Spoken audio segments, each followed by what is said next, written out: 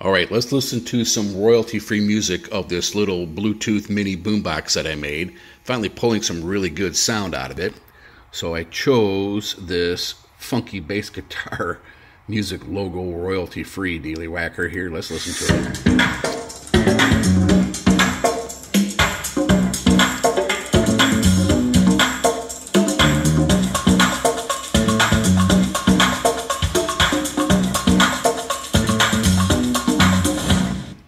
There you have it. Pretty cool. Pretty cool. Let me turn that off. All right, so I started off with NVX 4x6s in this build. Great tweeters, Silk Dome, just lacking the bass. So I went with Skar Audio's 4x6s, these TX46s, and I popped them inside here. I got my bass and overall sound where I wanted it. However, these tweeters are just too damn hot. I mean, just crazy, crazy high volume. So I needed a way to knock them down. So let's go inside here and I'll show you what I did. Had to put some uh, screws on these grills because they keep popping off. But I just want to show you this really quick here. All I did was that they, they had enough tweeter wires. See these guys right here, the tweeter wires that go down to the standoffs. And I thankfully they left me enough wire there so I could wire in a 50 watt 30 ohm resistor that goes into the wires that go into the tweeters. And that knocked these tweeters down substantially. Balanced out the woofer and the tweeter sound and just made it sound great. I'm using a DeWalt battery, 4 amp hour in here, and this thing will just last for days, literally.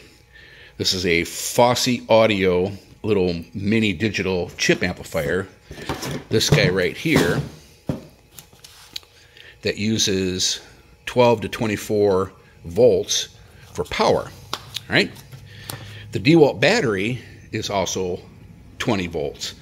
And I found that you can actually charge this battery, you know, just pops in and out right here. And so I put a little connector end on there for 19 volts and use their AC to DC adapter power supply. And you can charge the battery and play the radio at the same time. Five amps, no problem. Charges up the battery fine. I've tested it all out and works perfectly. It's ported. And that's about all she wrote. Bluetooth, right here. You can charge your phone right here with this. It's got aux input right here, little 3.5 millimeter, and it's got good sound. Now it's not crazy subwoofer, high power like this guy down here. I mean, or that guy up there, 300 watts per channel, or this guy down here with about 400 watts per channel. But uh, if you just want some good, good background sound with a DeWalt powered, you know, battery going on here, uh, you're good to go. This thing is great for computer speakers, TV, highly portable, less than 10 pounds, and it rocks. It does a really good job.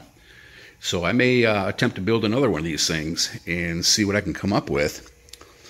Lined it all. The only thing I didn't do good on this was the bass port. I used uh, Gorilla rubber cement, and I should have went on the inside instead of the outside. I got a little bit of slop job on the port, but that's about it. VU lights are wired directly into the speaker themselves, so they blink with increasing volume and get more intense. It's just a on and off, it turns on and off with the power. Antennas on the exterior right here. Pretty happy with this build. Boomer Sooner for the University of Oklahoma Sooners, just down the road from me. And there you have it. Thanks for watching.